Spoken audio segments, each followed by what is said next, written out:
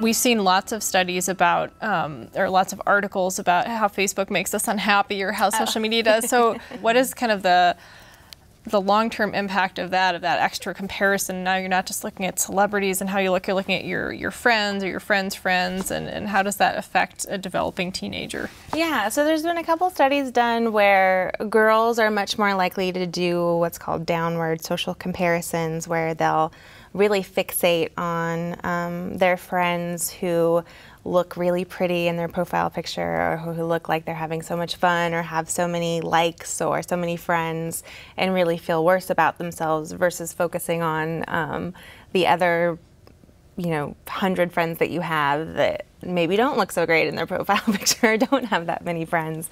Um, so it is something that if you already kind of have a tendency to be insecure, which a lot of, of adolescent girls do for a variety of reasons, it does sort of add that potential reminder, particularly if you're checking it all day long, that, you know, I'm not good enough. Look at how pretty she is. I'm not good enough. So it's important to to remind girls not to compare themselves to their friends or to, to strangers online and, and, and think of ways in which you can really interact with them so that they understand that.